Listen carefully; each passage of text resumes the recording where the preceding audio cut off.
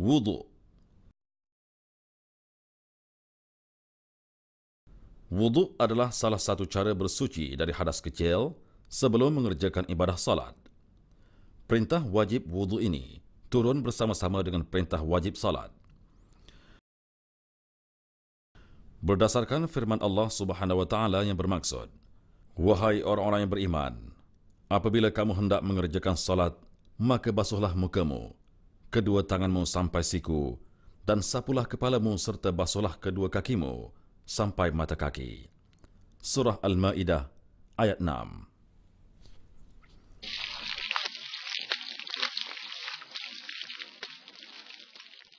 Syarat-syarat wudu adalah Islam, baligh, tidak berhadas besar seperti haid ataupun nifas.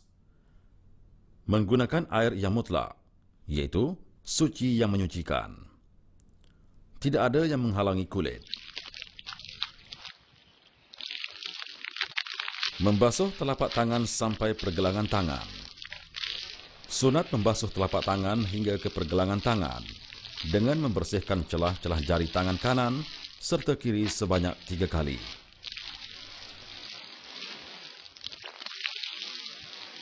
Berkumur-kumur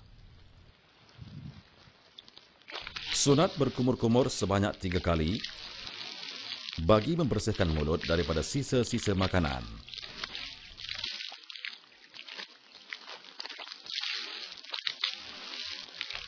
Membersihkan hidung dengan air.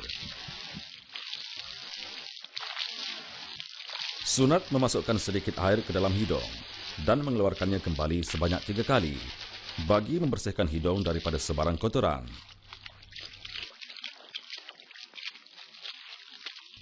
Membasuh muka dari anak rambut ke dagu dan telinga. Wajib membasuh muka dari anak rambut hingga ke dagu dan dari batas telinga kanan hingga ke batas telinga kiri sambil berniat. Nawaitu raf'al hadathil asghar lillahi ta'ala.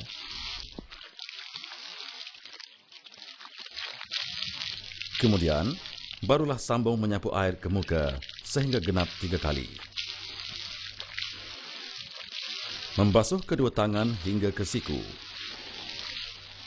Wajib membasuh kedua tangan kanan dan kiri hingga ke siku sebanyak tiga kali.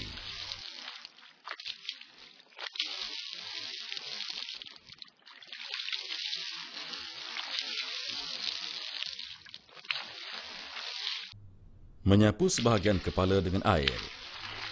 Wajib menyapu sebahagian kepala dengan air sebanyak tiga kali. Jika menyapu pada keseluruhan kepala, ia menjadi sunat.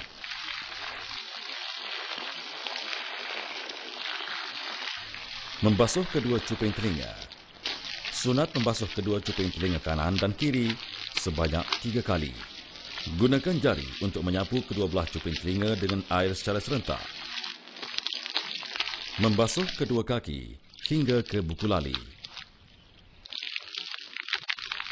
Wajib membasuh kedua belah kaki kanan dan kiri dengan membersihkan celah-celah jari kaki hingga ke buku lali sebanyak tiga kali.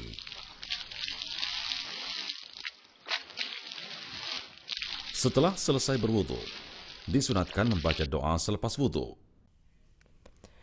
Ashhadu an la ilaha illallah واشهد ان محمدا عبده ورسوله اللهم اجعلني من التوابين واجعلني من المتطهرين واجعلني من عبادك الصالحين Perkara-perkara sunat ketika wudhu ialah membaca bismillah, membasuh dua tapak tangan, berkumur, menyedut air ke dalam hidung, meratakan air di kepala atau menyapu air di keseluruhan kepala, membasuh kedua telinga luar dan dalam, menyeliti janggut yang tebal, menyeliti celah jari tangan dan kaki, mendahulukan anggota kanan dari kiri, membaca doa selepas berwudhu.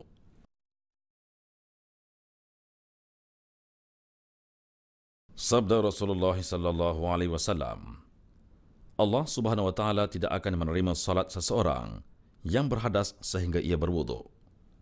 حديث رواية أبو داود